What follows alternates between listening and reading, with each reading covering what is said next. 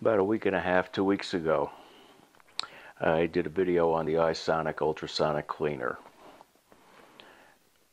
I was impressed with how nicely it worked. It had a good capacity with 10 albums. I've just about gone through three quarters of my collection, cleaning everything.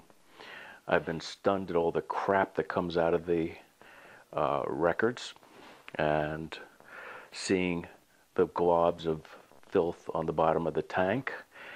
Uh, I'm sure some was in suspension. I was pretty much doing more than one load of records with a tank full of water and didn't like the way all the dirt was accumulating. I started looking into filters and online I'm seeing guys doing all sorts of reverse osmosis and pumps to put the water back in. And I'm saying this is nuts. There's got to be a simple way to filter this stuff to at least get the particles out. And I did that project today, and we'll go through it. The uh, cost of the project was roughly, oh, just under 50 bucks. Got a two gallon bucket, which gives me enough room for the tank to fill without going up to the surface. It's got a top. I got a shower water filter that, you know, I drilled a hole, put it in, have a connector on the other side so it stays in place and then added a connector tube and nipple so the polyethylene tube that connects to the iSonic uh, can dump the water out for me. Took about 15 minutes actually to put together. Everything went smoothly for a change. Uh, no surprises. That was nice. The actually the only unexpected thing uh, when I, the first load I ran, I snapped the lid tight, so things were pretty tight, and I really didn't have to do that uh, because it's not going to come up to the top anyway. But I ended up drilling a hole in the top to relieve pressure so that the water could freely flow from the tank and release any air pressure that builds up in the tank. Uh, the uh, uh, results, I think, were pretty nice. The water drained into the tank. The filter seemed to do its job. It, uh, uh, you know, I wiped down the tank, put the water back in, and the water looked relatively clean, which you'll also get to see in a bit. Other discoveries I've had is I will no longer use microfiber rags to dry the records. I have a number of records that had me very upset because my stylus was picking up white fibers and playing cleaned records and said, How did this happen? It didn't make any sense to me. And doing a little research online, it seems to be related to microfiber rags. Some of the records that I've air dried, no problem. Stylus is clean, and frankly, the records sound like I've never heard them before. Uh, very nice sounding. Uh, reproduction coming off them now. Most of the hiss and surface noise is gone. Obviously, if there's a scratch, you can't do anything about that, but very nice. So now instead of using microfiber towels, if I need to do a little drying, I'm using lint-free wipes like the Kimwipes that came with it. You know, I may switch brands when I need more, but at least that doesn't leave any fibers in the grooves and does the job. So that's been my experience so far. Very impressed with it. A lot of crap coming off of the records. Uh, some of them I'm going to have to redo. Uh, actually, I'm probably going to have to redo a good number of them. The problem is going to be trying to figure out which ones, uh, since I don't remember which ones I wiped down with the microfibers and which air dried. But we'll figure it out. In the meantime, if you're on the fence you will not regret an ultrasonic cleaner. It is a different world, different music, and it's nice. This is before we use the filter. This is what prompted me to try and figure out how to make a filter for this.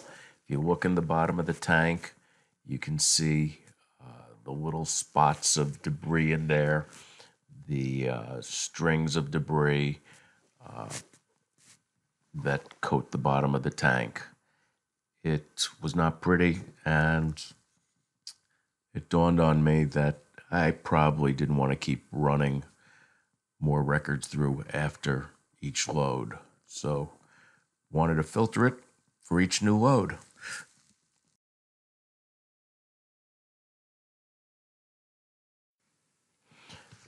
So I ended up going to Home Depot and checking out filters, looking for something that could be used in line in a tank.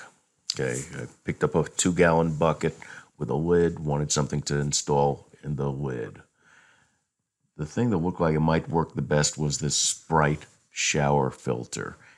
In normal use, it goes between the wall nipple and the shower head. And that's virtually the way I wanted to hook things up here. So I decided to give that a try. It cost about 20 bucks. It has a replaceable cartridge. If I don't like the way this works, I could probably just remove the cartridge and put in some aquarium filter material, something like that, or a fine sponge. Uh, we'll see how it works. Right now, this was the way we decided to go.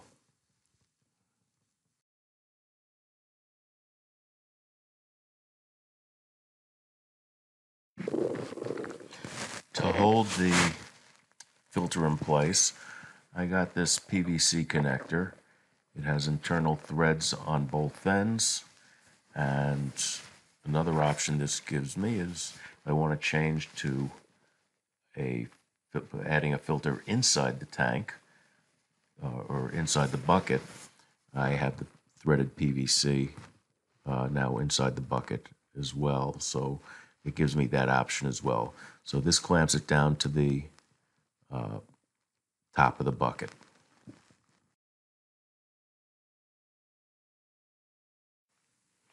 Here's a shot of the underside of the lid. The connector is holding the filter in place.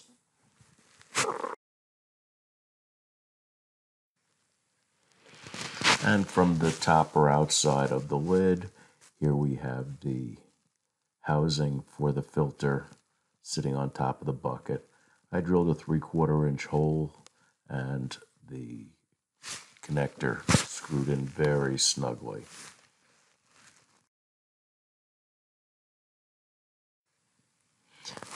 This is the filter element that goes in the housing. It's relatively compact, it's replaceable. Uh, they say in the shower it's supposed to last six months, so this could probably last a lifetime in this type of application.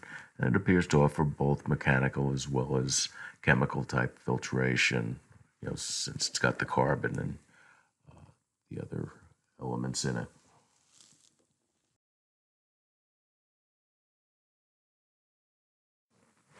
And here's the fully assembled filter in place, the nipple coming out of the filter with the coupler so that the hose can attach to it.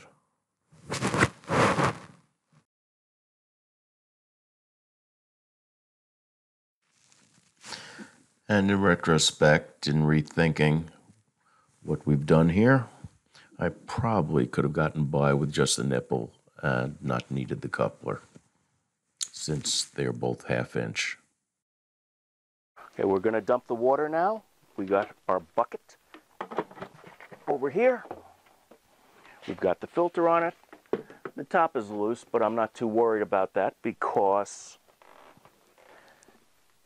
the water's not going to come up to the top. Okay, we simply plug our hose on. We have our valve over here. Open it up and let it drain.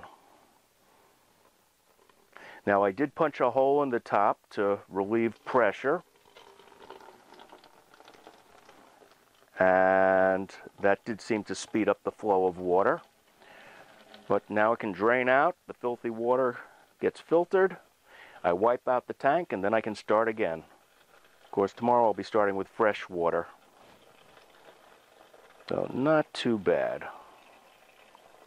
It seems I had a little leak over here earlier, but I used a little silicone seal on the fitting there. It did not come with a washer, and I didn't have one the proper size. So I just used some silicone, and that seems to be keeping it dry. The only leak we seem to have is right at the tank, right here, which was very slow and not a big deal. It's draining fast. The filter's taking it very quickly. If I decide I don't like the way this is going, there are other inline filters that I may try. Or since all I have to do is unscrew the top, I can take the filter element out there and possibly use something like, uh, you know, the filter floss you would use in a fish tank, which might also be fine enough to get these particles squared away. So this hopefully will keep some of the crap off from getting back on the records. Now I did also experience a uh, couple records that I dried with microfiber cloths. Some of them I air dried. The ones with the microfiber cloths, uh, looks like I had residue in the grooves from the cloths. And I discovered that by doing a little research. Uh, I guess micro microfiber cloths are not as lint-free as we might like to think they are. Uh, they're polyester, and I guess they were doing some shedding, and what I found come off in the records was terrible. I mean, it was just clogging up on the needle. However, the records that were air dried, they sound clear, clean, cleaner than I ever recall the record sounding, and absolutely no residue on the needle. So there's an idea. You know, I've heard people spending uh, all sorts of money for fancy filter systems, you know, and reverse osmosis systems, and then having a pump put it back in the tank. And, you know, I just wanted to get rid of these fibers and this crap and uh, have a somewhat cleaner water. I didn't feel like getting that nuts. So it seems to work.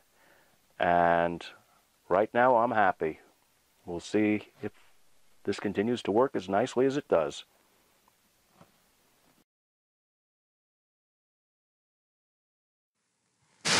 Here's the tank of clean filtered water that I started with.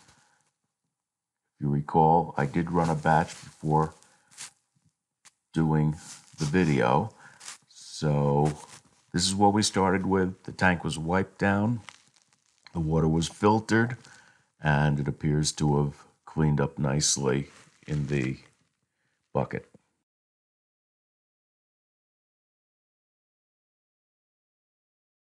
The previous shot showed the relatively clean water that we had uh, after filtration.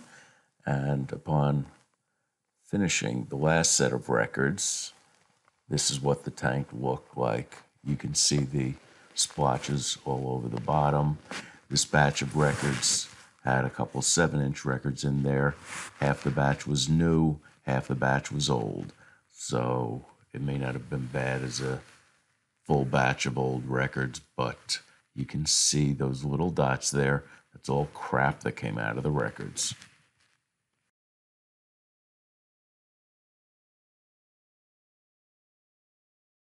There you have it.